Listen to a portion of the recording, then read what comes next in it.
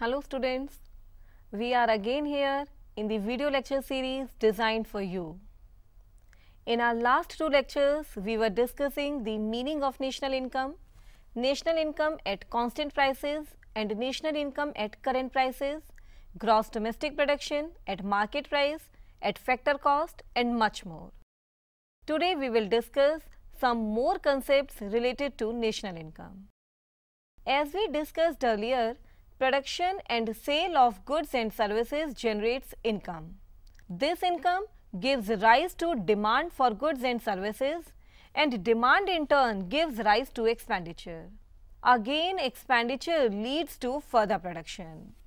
The circular flow of production, income, expenditure represents three related phases namely production, distribution and disposition. These three phases look at national income in three ways.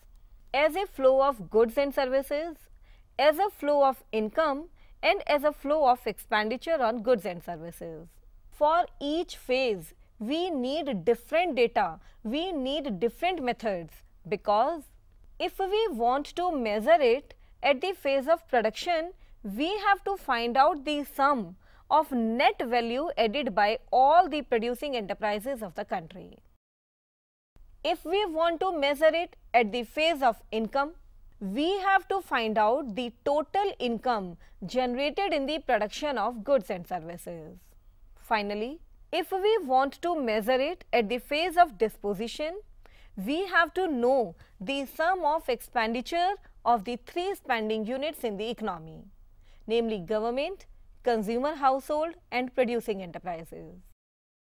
According to these three phases, there are three methods of measuring national income and they are value added method also known as product method, income method and expenditure method.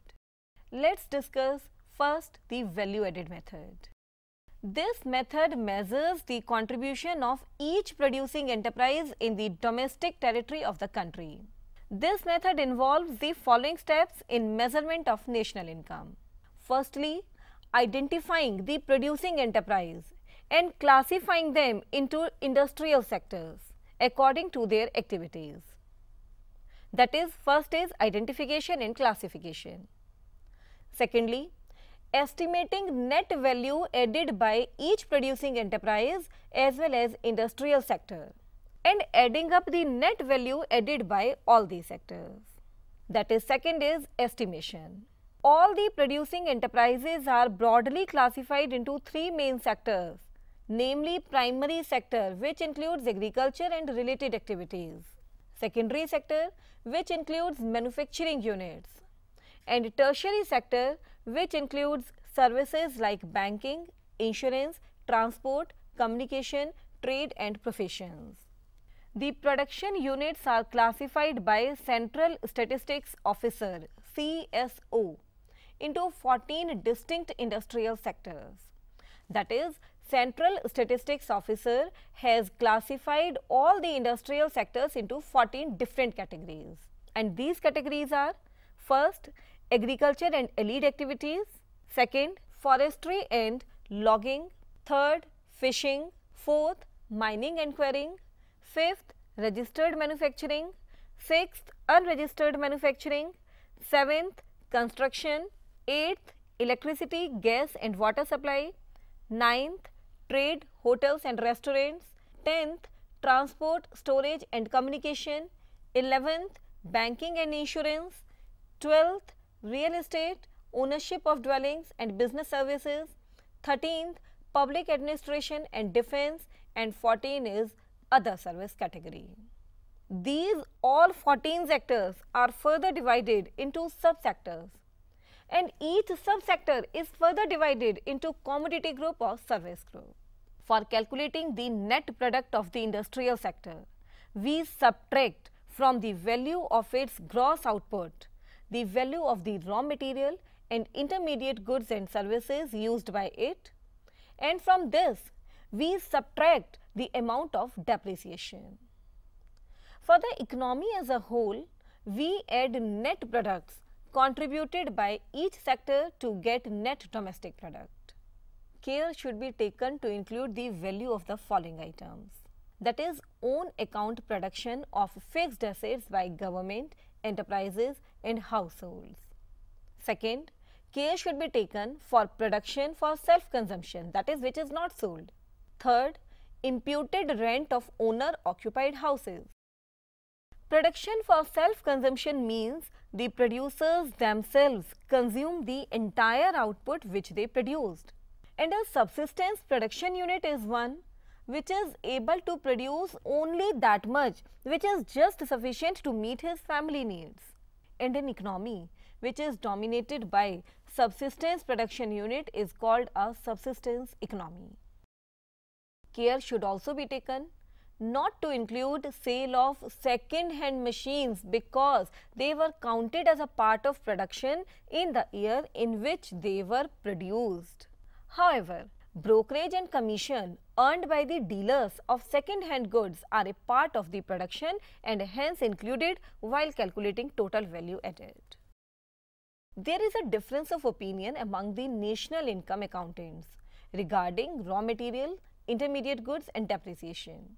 For example, a question arises whether government services are final or intermediate. In India, we treat them as final service, but in Soviet Union, these are treated as intermediate services. Similarly, it is very difficult to ascertain the actual amount of depreciation because a fall in the value of capital stock depends upon many factors which are difficult to measure. Moreover, large areas of production activities are excluded for various reasons because there is no acceptable way of valuing them. For example, services of housewives or self-service in homes or services of friends. Sometimes, net value added of many producing units cannot be measured due to difficulty of securing data of the subsistence producing units, particularly in underdeveloped countries. Subsistence production again means production for self-consumption. Therefore, we can say that this method, value added method, gives information about the industrial origins of national income. But remember, net income from abroad should also be taken into account to get true picture of national income. We used the term depreciation somewhere. Let's understand its meaning. Actually, depreciation is an annual allowance for wear and tear of a capital good. In other words, it is the cost of the good divided by number of years of its useful life. For example, consider a new machine that a firm invests in. This machine may be in service for next 20 years, after which it needs to be replaced. We can now imagine that each year 1 20th of its original value is getting depreciated. So, instead of considering a bulk investment for replacement after 20 years, we consider an annual depreciation cost every year. Actually, depreciation is an accounting concept. It is a non-cash expense yet is accounted for annually. This was product method. Now, income method different factors of production merge their services for carrying out production activities. These factors of production in return are paid for their services in the form of factor incomes. Thus, labor get wages, land gets rent, capital gets interest and entrepreneur gets profit. In other words, whatever is produced by a producing unit is distributed among the factors of production for their services and aggregates of factor incomes of all the factors of production of all the producing units of the economy form the subject matter of calculation of national income. Only incomes earned by owners of primary factors of production are included in national income. Remember, transfer incomes are excluded from national income. Thus, while wages of labourers will be included, pensions of retired workers will be excluded from national income. Labour income includes apart from wages and salaries, bonus, commission, employer's contribution to provident fund and compensation in kind. Non-labor income includes dividends, undistributed profits of corporation before taxes, interest, rent, royalties and profits of unincorporated enterprises and government enterprises. Sometimes it is difficult to separate labor income from capital income because in many cases people provide both labor and capital services. Such cases happen with the self-employed persons like lawyers, engineers, traders, etc. They themselves are labor and they provide capital. In order to overcome this difficulty, a new category of income called mixed income is introduced which includes all those incomes which are difficult to separate. Remember that net income from abroad need not be added separately since the income received by people include net foreign incomes as well. This was income method. Now, the last method of measuring national income is expenditure method. Expenditure method is an alternative way to calculate the national income by looking at the demand side of the product. The persons spend their incomes on consumer goods and services or save a part of their incomes or we can say that they spend a part of their income on non-consumption goods or capital goods. In this method, we add the final expenditures that each firm makes. Total expenditure in an economy consists of expenditure on financial assets, on goods produced in preceding periods, on raw materials and intermediate goods and services, and on final goods and services produced in the current period.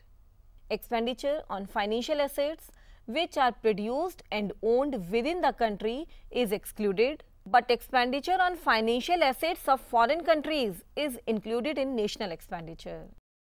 However, only the net expenditure that is difference between expenditure on foreign financial assets by residents and expenditure on the country's financial assets by non-residents or foreigners is incorporated. This difference is also called net foreign investment goods produced in a preceding year are also excluded from national income because they have been accounted for in the national incomes of the periods when they were produced. Similarly, expenditure on raw material and intermediate goods and services are excluded because otherwise there will be double counting of some of the items included in the national income government expenditure on pensions, scholarships, unemployment, allowance, etc. should be excluded because these all are transfer payments not factor payment or factor income. Thus, we can conclude that only expenditure on final goods and services produced in the period for which national income is to be measured and net foreign investment are included in the expenditure method. Expenditure on final goods and services is broadly classified into expenditure on consumer goods and service, also called consumption expenditure, and expenditure on capital goods, also called investment expenditure. Consumption expenditure is further classified into private consumption expenditure of the household sector and government consumption expenditure. In the same way, Investment expenditure is also classified into private investment expenditure by business sector and investment expenditure by government. We can write it as expenditure on final goods and services is equal to consumption expenditure plus investment expenditure. Consumption expenditure equals to private consumption expenditure plus government consumption expenditure. In the same way, investment expenditure is equals to private investment expenditure plus investment expenditure by government. So, this was the third method of measuring national income.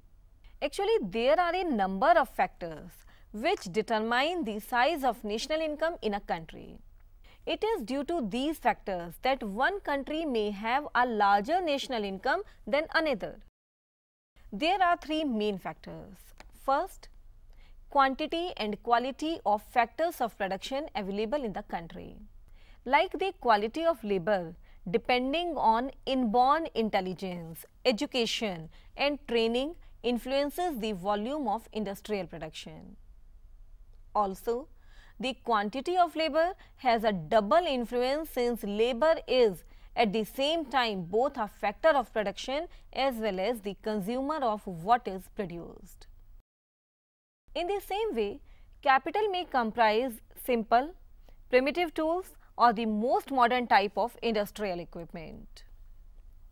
The second factor affecting the volume of national income is the state of technical know-how present in the country, that is, state of technology available in the country. A country with poor technical knowledge cannot have a large size national income because it will not be in a position to make the best possible use of resources. The third factor affecting the volume of national income is political stability. Rather, it should be said that it is a prerequisite for maintaining production at the highest level. The economic development of several countries, particularly the South American republics has been hindered in the past by political instability. It all was about the factors which influence the volume of national income. So students, today we are closing here. We did the three methods of measuring national income today and these were value added method, income method and expenditure method. In our next lecture, we will do the remaining topics of national income. Till then, thank you. Thank you.